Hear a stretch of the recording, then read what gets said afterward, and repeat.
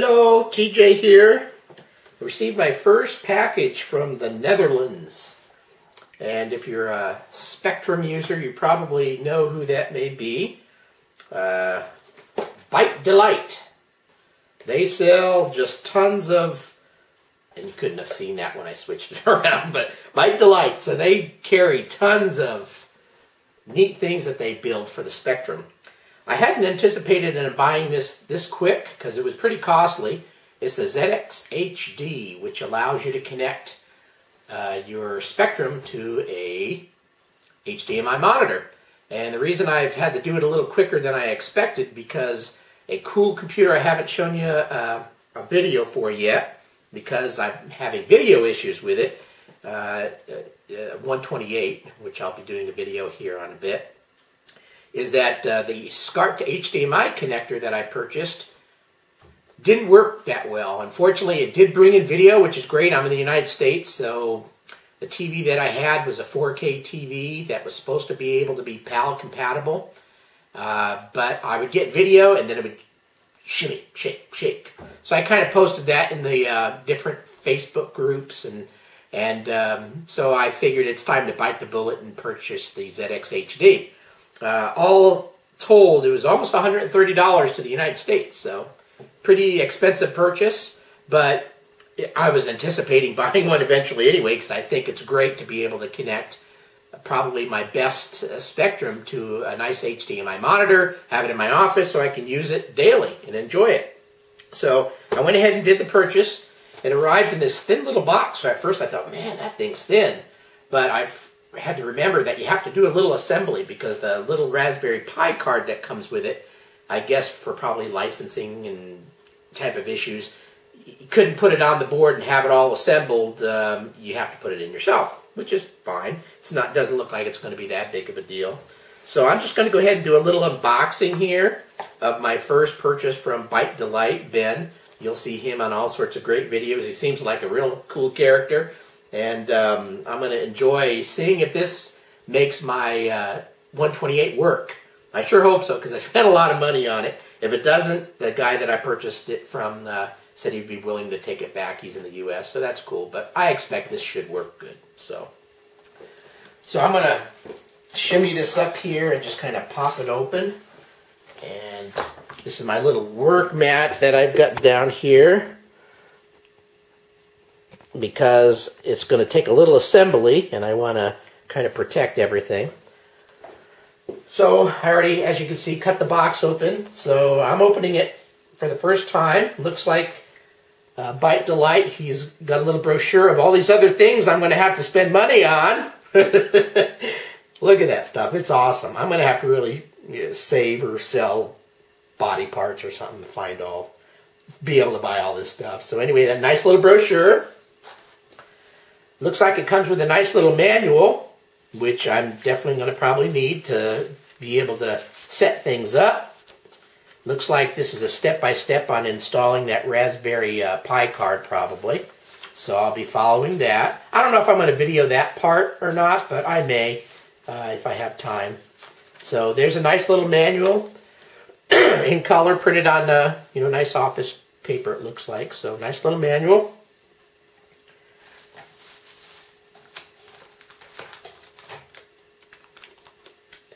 Here is, it looks like um, some the ZX HD itself. Everything's in a nice little static uh, baggie. And I'll figure out how this all connects here in a little bit. So there's the two boards.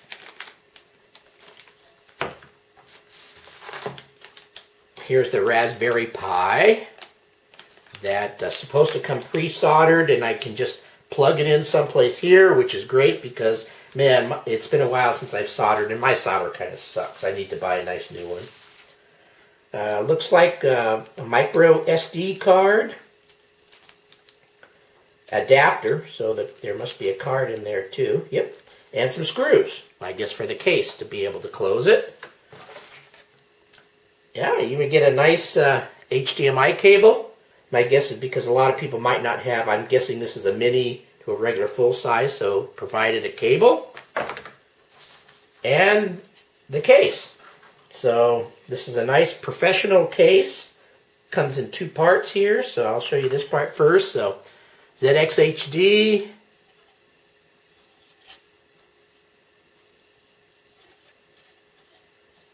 And here's the uh, inside of the bottom part. And on the back it says uh, ZXHD 2016 Ben Versteeg. Probably pronouncing it wrong. Versteeg? Versteeg? And also Im I-M-R-E Jack, Jackley. So I'm just going to say Imrig Jackley. ByteDelight.com. So I've seen in other packages and I've read online and I was expecting a cookie because he sends these nice little stroop waffles. But I think to send it to the United States having food inside of a package is probably not a good idea. Might uh, have some customs issues. So anyway, this is the uh, manual again. This is what I've purchased at XHD. I'll be assembling it and hoping that it works properly. And if all goes well, you'll see a, another video that I'll do showing my 128 running with this cool device. So thanks for watching, everyone.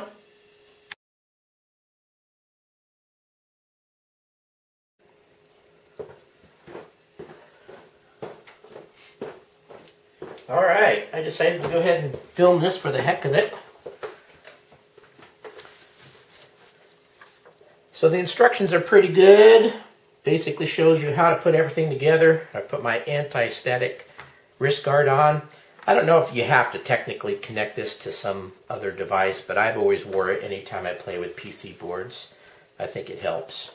Um, so step one, Nice thing is they do have a little barcode. Ben made a barcode so it shows you a video. I watched that, I think, um, a number of weeks ago for the heck of it before I bought one. So he's saying here, step one, assemble your res... Actually, yeah. Assemble your Raspberry Pi Zero. Uh, this step should be done technically because uh, his website talks about uh, the pins being soldered on already for you, which was great. So let's go ahead and take it out of the package. So there's the little Raspberry Pi. First Raspberry Pi I've ever uh, owned. Never had one before. And it basically talks about, uh, hey, make sure you do the soldering. So I can skip on to the next part. So mounting the top circuit board to the lower circuit board. So let's go ahead and get those out.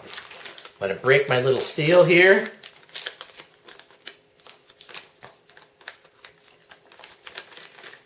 Take out the two boards. I love black PC boards, by the way. Look beautiful. So from what his picture shows, this is what he calls the top circuit board.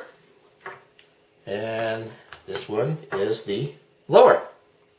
So he covers that right here in the in the little booklet.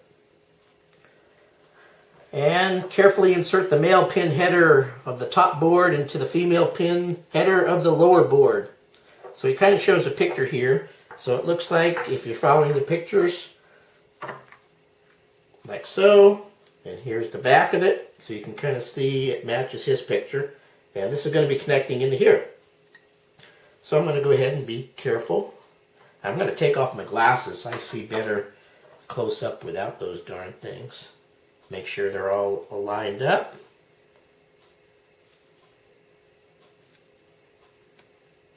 Push. Boom. There she is. Everything seated, no bent pins, all looks hunky-dory. So again, just the uh, car is a little thing in red here. I think that's just for the uh, lining up of the, uh, the pins there. So mine looks like that. So that's done.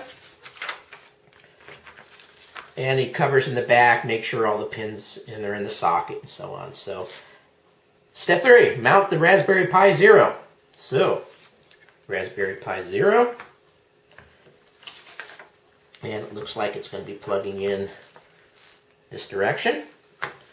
So he basically says, now mount the pin header of the Raspberry Pi. So I'm going to be pushing that in. So again, matching up, making sure it looks like his picture.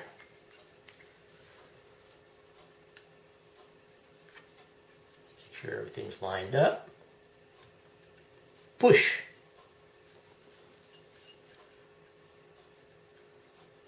Even a dummy like me can do it.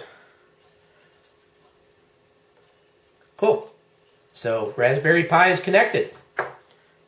On to insert circuit boards into the case. So let's find the case. So it looks like he's talking about this part and showing uh, here, matching up the picture. This is going to kind of slip in here.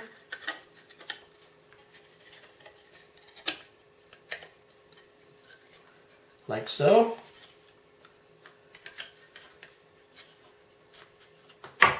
So that's done. And it looks just like that. Close the case and insert SD card. So let's get the back of the case here.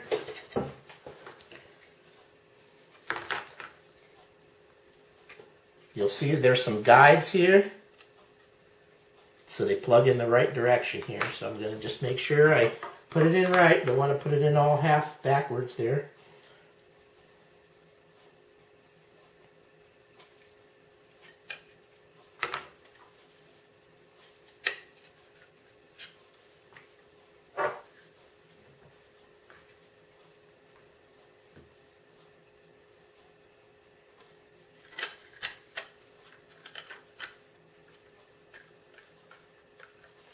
Now some screws.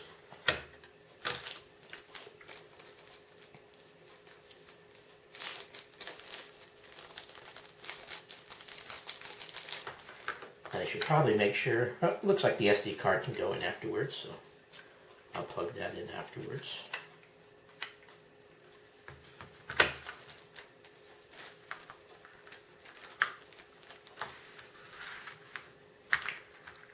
Everything is so small these days. It's, when you get older, hard to see stuff.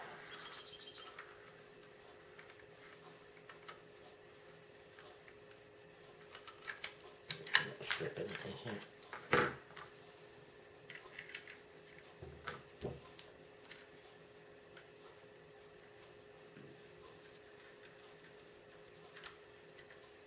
Put it in just enough. I like to kind of, since I work on old Volkswagens, dealing with, you know, I like to put little, uh, don't screw in everything hard right away. Just kind of get it semi in there. Every corner slightly, slightly tight, and then work your way diagonally to tighten everything up.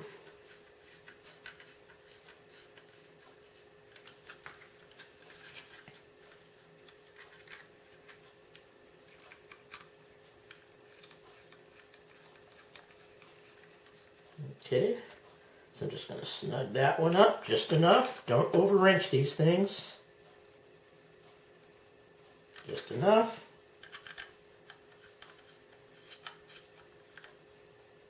Just enough.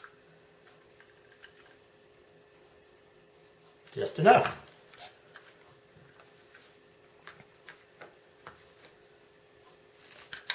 That don't fit. I'm going to have to Maybe it's a, he just sends it with a, a full-size card too, so I'll be slipping this out and slipping it in here. So I'll do that afterwards. So there's the ZX HD all assembled.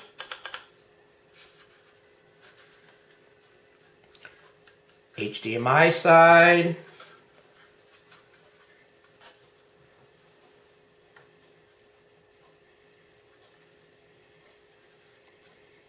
So now I've got a completely assembled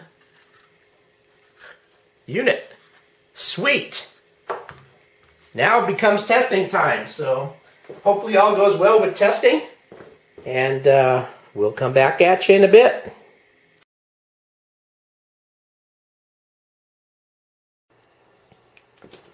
All right.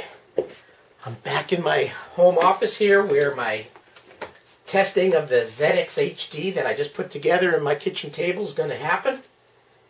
I've got my toast rack. I haven't shown you my unboxing video of that yet. I had video issues where the video from the SCART to HD connector wasn't working right. It actually brought in video, which was cool, but it kind of shifted around and wasn't quite right. So that drove me to buy my ZX HD from Byte Delight. So I've got my toast rack here in front of me. I've went ahead and connected my ZX HD to the back of it, made sure it was connected into a clean expansion port. I connected my HD cable that was provided to the back of my Omen 32-inch HDMI monitor from uh, HP. And I don't know if you can see it in the video here, but I've got my trusty uh, 110 the 220 volt up transformer that I'm going to be running the uh, ZX uh, 128 uh, toast rack from. So this is going to be my first test. I've got everything connected. I'm going to point the camera at the screen and hopefully everything works as it should. So let's see if I can change the video up here a little bit, kind of shift things around.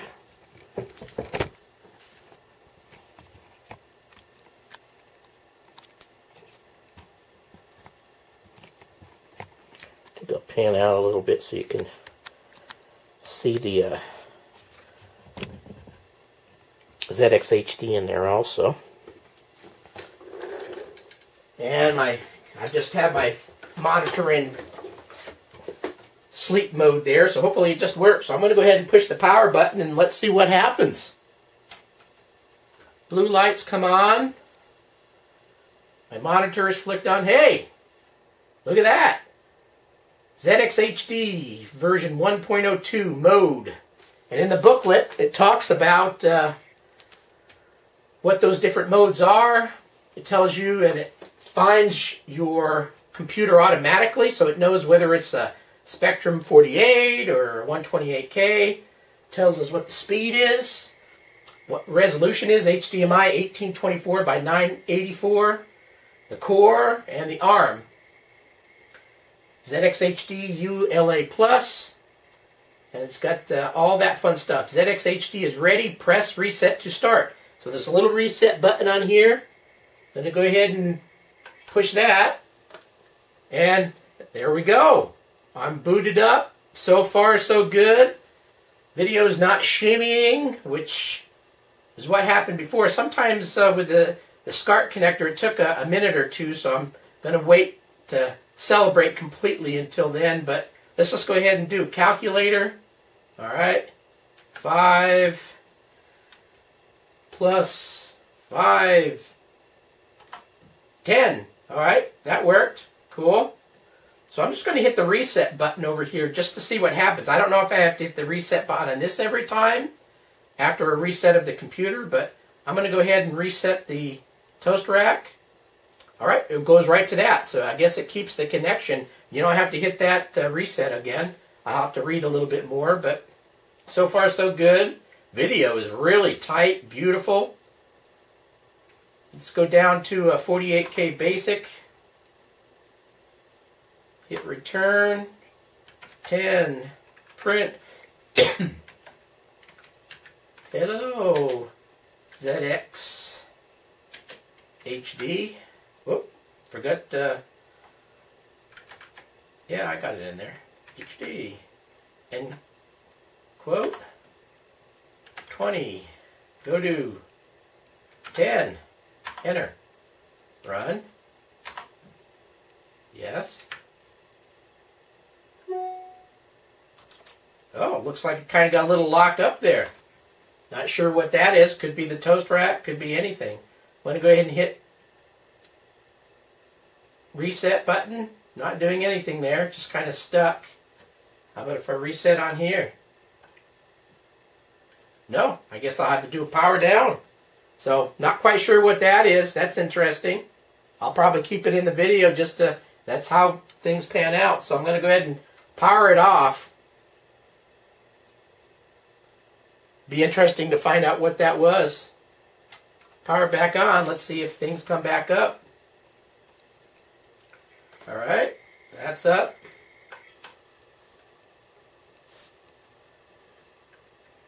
48K basic.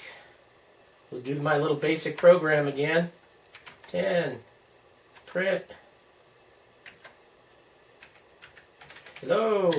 ZX HD 20. Go to 10. Run. Yes. Yes. No. Maybe just one of those freak anomalies. Um, again, I had hit the reset button over here. Maybe when you reset that, you're supposed to reset this too. I'll have to read, but it uh, does appear to be working. Obviously, I'm going to try to run some games on this and see what happens. This is the first time I'm really using the toast rack. And yeah, I guess after a while you could cook some toast on here. Or Yeah, gets a little warmer. That's not bad.